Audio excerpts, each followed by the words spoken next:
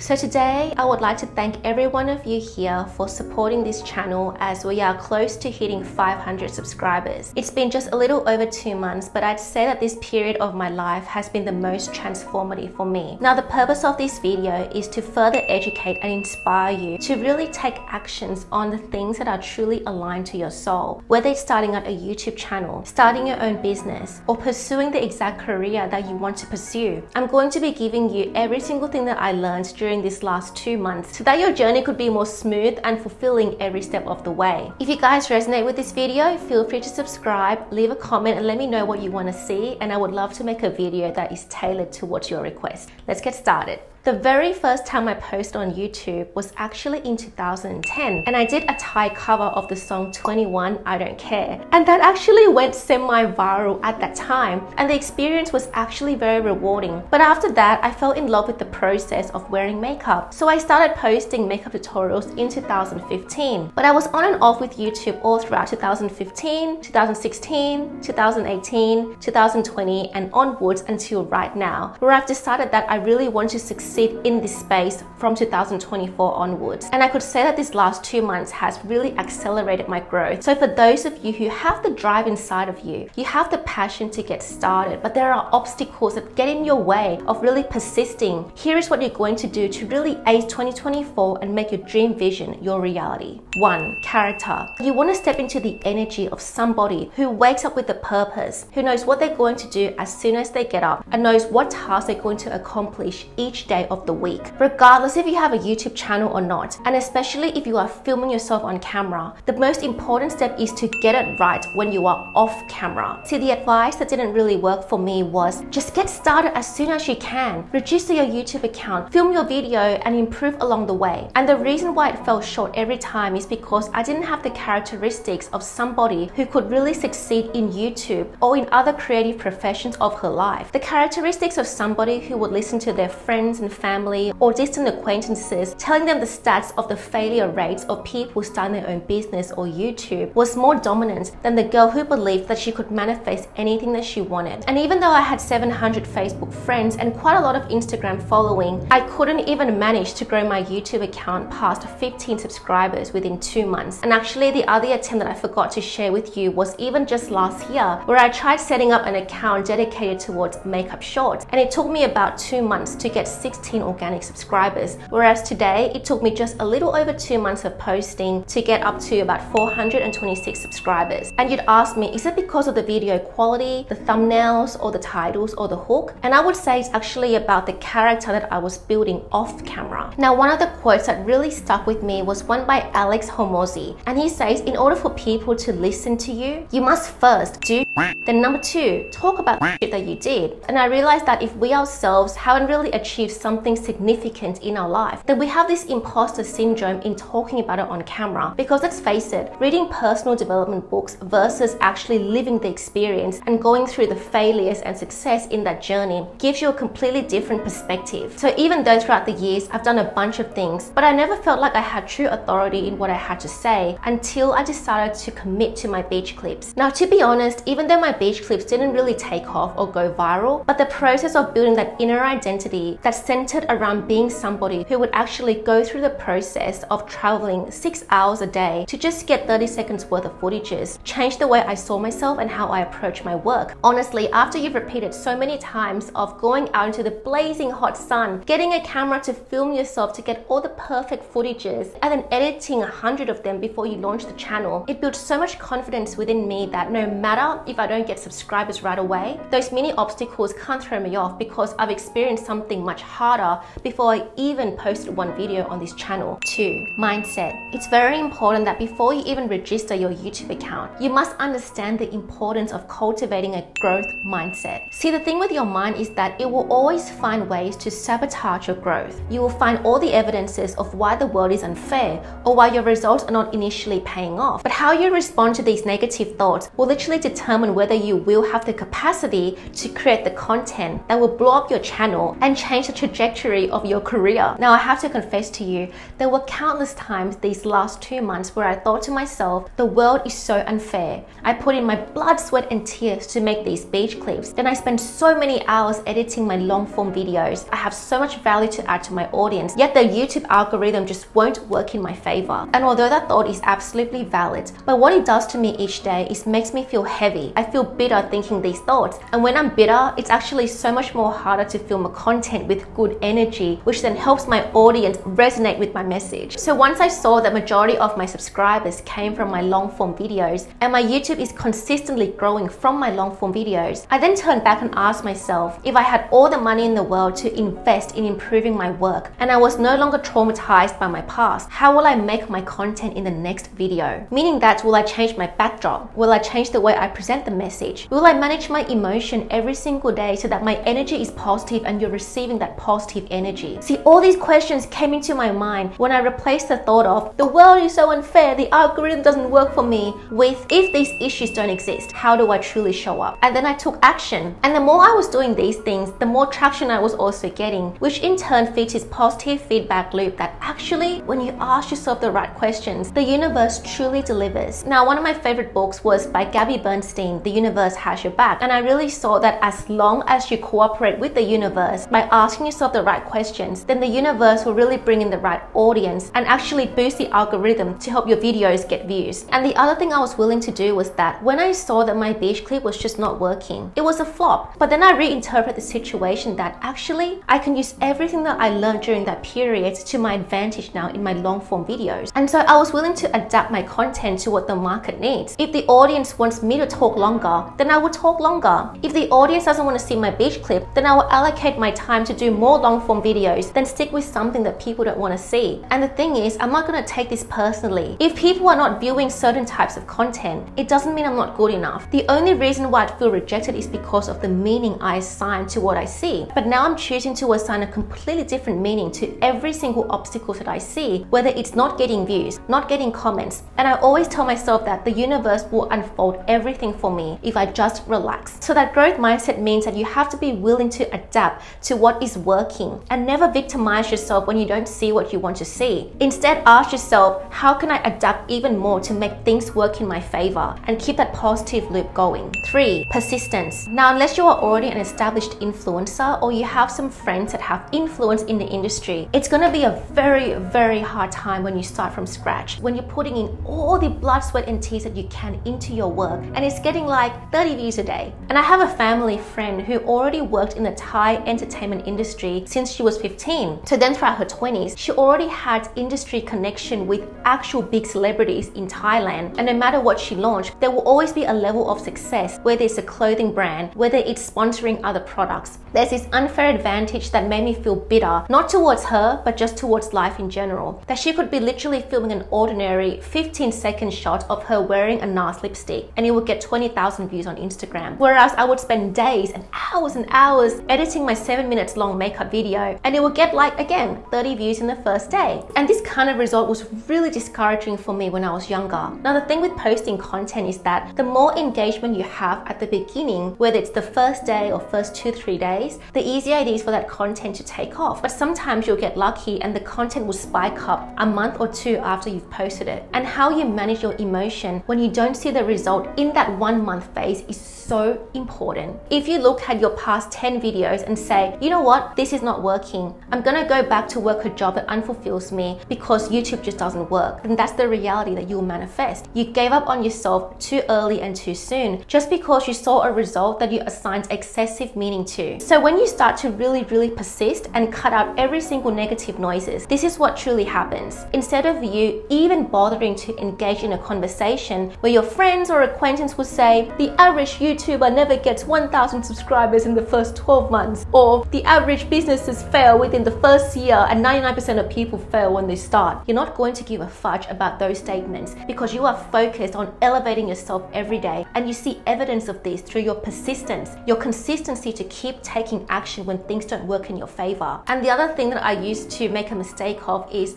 well, she's an outlier. Only one in 10 people achieve that kind of growth with their YouTube channel. Well, she's privileged Well, she already has this. And yes, of course, it's true. Some people are just born into established wealth or they're born into an environment with better opportunities. But so what? You have to stop acknowledging the skeptical truth or the pessimistic truth of you have to be realistic and see how the world works, that your chance of succeeding is almost zero. Because the more pessimistic or realistic you are, the more you will stay stuck in that reality. Whereas if you just embrace being delusional, but still taking realistic actions to approach realistic goals, then you have the power to prove all all these people wrong that actually I can be the outlier. I can be that channel that gets exponential growth. And it's not because of anything but your self belief, your conviction, and your commitment to stay persistent in what you truly want to create for yourself. Four, emotional regulation. And the reason why I really emphasize emotional regulation is because it will impact on how you show up in every area of your life. If you are not emotionally stable and you let your past trauma hinder you from your growth, then you won't be able to create that killer content that takes your channel to the next level because even if you go viral once by luck and you're not able to reproduce that same result, it's actually going to make you feel really bad about yourself because I've kind of experienced this before. Now, I want to tell you a story about my love life is that I met somebody that I had this instant emotional connection with. I was already attracted to him from first sight and I used to think to myself, oh, if only I can just see him for two hours every fortnight at this meeting and I could just sit across him from the table and just admire him, then I'll be so happy. And what happened is that on the first night that we actually met, he ended up giving me a lift back to where I was staying and I felt really safe. I felt like I was catching the bus and train so much at the time. So to be driven by the guy that I like on the first time we met was so sweet. And when we met again the next fortnight, he suggested that we go and have dinner after the meeting. And so we did. And I just felt like, oh, we are so compatible and we really get along. And I fell asleep feeling so peaceful, so calm and so safe next to him. I felt this is it. This is my happiness. And so for the next one to two years, I just kept holding on to that beautiful memory that we created together. And even though almost two years later, we still share those beautiful moments together. And I'm always so happy to just see him and spend time with him. I realized that my priorities have changed. And it's not that I don't love him today, but it's just that I love my YouTube vision more. So what I'm trying to say is that there were many times where I compromised at times. I could have been working on my mindset, my emotional regulation, and my content creating skills. And the hardest decision that I've ever made was not exactly letting go of the entire community that we are both a part of, but it was actually letting go of what he would think of me once I walk away.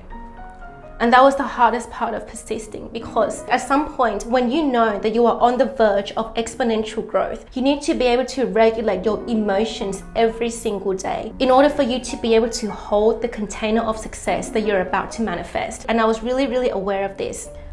So the point I'm trying to make with emotional regulation is that you need to create a life routine or an inner environment where you are not going to be easily triggered by anything. And that triggering can come from things like distracting text messages, distracting social obligations, distracting demands from people. Because all these sorts of distraction will hinder you from having your creative flow. It will hinder you from writing a good script. It will hinder you from believing that you can step into the identity of that exponential growth. And trust me, you don't want to sacrifice your future self for the current self right now that you're not fully satisfied with. And so that starts from you regulating your emotions and make sure that you create the environment for you to feel safe every single day by actually walking away from everything that doesn't serve you. Five, unfair advantage. Now, the one thing I realized is that while money can buy us literally almost anything, but money didn't buy my discipline. Okay, yes, I have great genetics with my youthful face, but that doesn't mean I didn't put in the work to maintain how I look. See, I used to have friends that would say to me things like, the only reason why he gave you time and he gave you attention is because you're pretty. So it doesn't matter if you're not smart. As long as you're pretty, then you'll have success easier than somebody who works harder than you and is smarter than you. And I used to feel really disempowered and guilty with that kind of statement because I knew that I was working out consistently. I was learning about all these personal development advices and implementing them into my life so that I can always level up how I look and how I show up. But these people just kept making it like everything is so easy for us only because we're pretty. And for that reason, I also don't care anymore if somebody wants to say I earned success by being pretty. Okay, that's great. It's true, I am pretty and I'm really happy with that. So I realized that, you know what? I can use everything that these people criticize me for as my unfair unfair advantage. The next unfair advantage that I have also is that I never got to live life as a teenager. So my teenage life was pretty much oriented around me staying in my bedroom, going to this suburb called Cabramatta, and just kind of commuting back and forth 20 minutes and seeing the world as just being very small. So when I was 18, I started traveling one hour to CBD all by myself just to go for a walk in a QVB, in art galleries, in Darling Harbour, and even go to the University of Sydney campus because that was where I wanted to study. And at that time, nobody in their teen years really goes and walk around QVB, art galleries, talk to the artists, go to the campus to study university materials when they were still in high school and finishing their HSC. So by the time I approach my later 20s, I don't really have a problem walking away from people that don't align to my future because I always knew what it felt like to be a loner and there's nothing wrong with being a loner. This unfair advantage gave me so much more drive, so much more motivation to work harder on my goals because I don't have sources of distraction. All those times I could have went out to drink alcohol, all those times I could have went out to hang out with the wrong people was spent on doing my affirmations. So the next time you guys feel victimized by the fact that you are just not born in this certain country, that you just didn't have the money or the resources to get started, that you just didn't have the right network to help give you leverage, I want you to discard all that thought and come back and ask yourself, how is this contributing to my unfair advantage? Six, gratitude. Gratitude is so important throughout every single part of your journey because the biggest mistake that I made before I even launched this channel was that I was so focused on how many numbers of subscribers can I get? What can I get from people so that I feel validated? But it wasn't until I started posting long form videos and seeing very constructive comments. And it was something that truly reminded me of the time I was doing interview coaching. The feedback was not just about, oh, your dress looks so pretty and your face is so pretty, but it's actually about your information is useful. Your information helped me. Those kind of comments make such a big, big impact to myself, so much more than those people that say,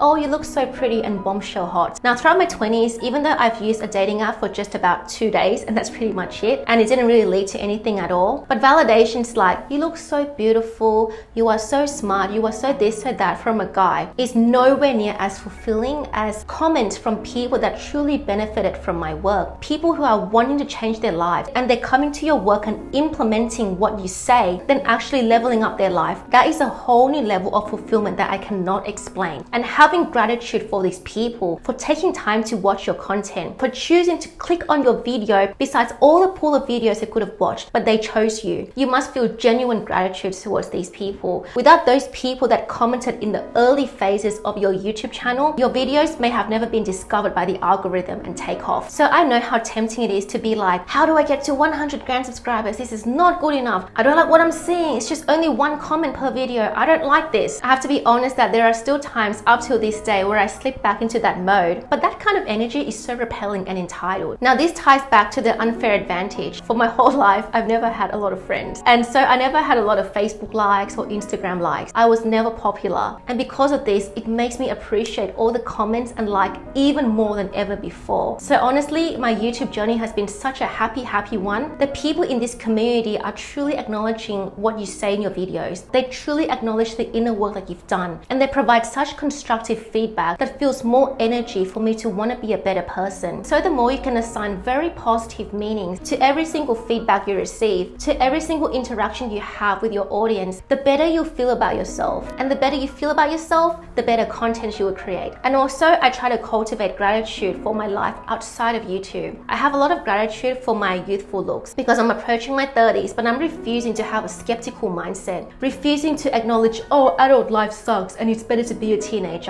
No, it doesn't. Life just keeps getting better and better because we're growing all the time. And also, the other thing I really have gratitude for is my parents because without my parents' hard efforts, I probably wouldn't have this life in Australia. And this is something that I don't verbally express to them, but I've been feeling it more and more and more. My parents owned a Thai restaurant for more than 13 years, and since I was about six years old, our family moved to Australia, and my dad grew up in a rich family. My dad had a nanny. My dad was spoiled. He didn't know how to chop vegetables But because we fell short financially, my dad actually had to rise above his circumstances and learn how to chop vegetables, learn how to clean hotel rooms, learn how to run a restaurant, learn how to make stir fry dishes and make them under pressure. And he actually enjoys it because it gives him purpose and it makes him fit. And I have so much gratitude that I have a dad that sets a really, really good example for me. I remember going to James Clear event for Atomic Habits and I talk about all these habit systems and all these things that James Clear talks about in the presentation. And my dad was just like, if you want to wake up early, you just get up, wear your shoe, walk out the door and go for a walk at 7 a.m. What is so hard about that? But it doesn't work like that for majority of the people. And I was so lucky to have that first-hand experience of somebody who doesn't need any motivational tool to keep going. Discipline to stay congruent to your future self is literally the 99% determining factor to your success. So every time I'm not getting views or I feel bad about myself on those days, I repeat this phrase to myself. The AdSense revenue alone from this YouTube channel can buy me every single experience I've ever wanted as a child. Whether it's more makeup, whether it's traveling, whether it's giving my parents money, making them feel proud.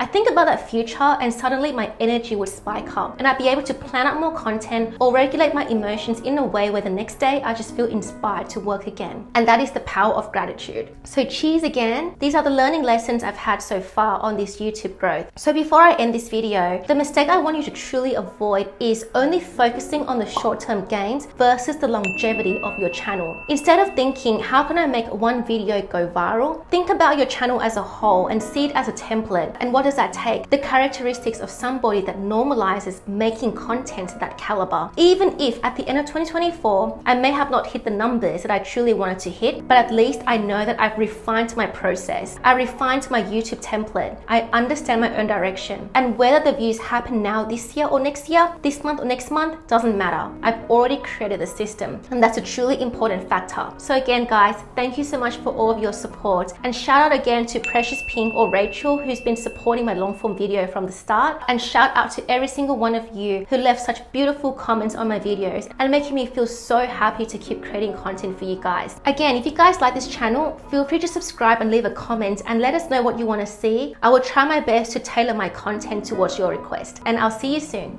Bye bye.